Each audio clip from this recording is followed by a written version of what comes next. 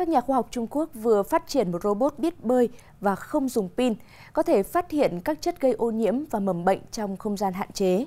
Nghiên cứu đã được công bố trên tạp chí Science Advance.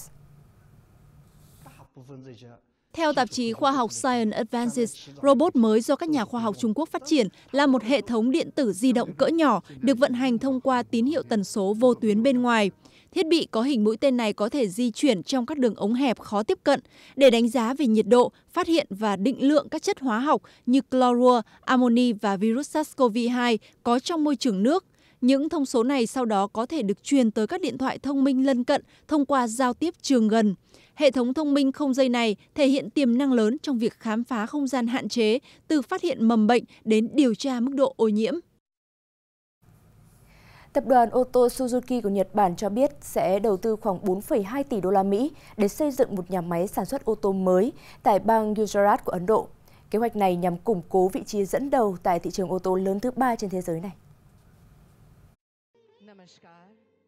Thông tin từ tập đoàn ô tô Suzuki cho hay, dự kiến nhà máy sản xuất ô tô mới trị giá 4,2 tỷ đô la Mỹ của hãng này tại bang Gujarat của Ấn Độ sẽ đi vào hoạt động trong năm tài chính tính đến hết tháng 3 năm 2029 với công suất lên đến 1 triệu xe một năm. Suzuki cũng sẽ chi hơn 385 triệu đô la Mỹ để tăng cường hoạt động sản xuất tại nhà máy hiện có của hãng, cũng ở bang Gujarat nhằm tăng sản lượng xe điện. Công ty con của Suzuki, Maruti Suzuki India, hiện chiếm 40% thị phần tại thị trường ô tô Ấn Độ với khả năng sản xuất 2,25 triệu xe mỗi năm. Hãng này đặt mục tiêu nâng công suất lên khoảng 4 triệu xe một năm vào tháng 3 năm 2031. Năm 2023, nhiệt độ các đại dương một lần nữa xô đổ các kỷ lục được thiết lập trước đó. Các chuyên gia cũng lo ngại rằng xu hướng ấm lên sẽ tiếp tục tồn tại trong suốt thế kỷ này, ngay cả khi lượng phát thải khí nhà kính chững lại.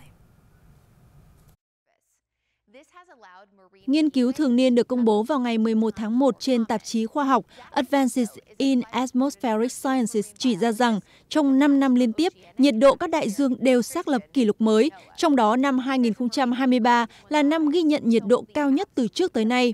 Tình trạng ấm lên của các đại dương là một chỉ số quan trọng để đánh giá biến đổi khí hậu, vì đại dương hấp thụ hơn 90% lượng nhiệt dư thừa từ tình trạng ấm lên toàn cầu. So với năm 2022, phần nước bề mặt dày 2.000 mét trên các đại dương đã hấp thụ một lượng nhiệt lớn hơn, đủ để đun sôi 2,3 tỷ bể bơi, kích thước chuẩn Olympic. Cụ thể, so với năm 2022, nhiệt độ mặt nước biển trung bình toàn cầu năm 2023 đã tăng 0,23 độ C. Đại dương ấm lên sẽ làm giảm lượng oxy trong nước biển và khả năng hấp thụ carbon dioxide, dẫn đến hệ lụy nghiêm trọng đối với đời sống động thực vật trong lòng đại dương.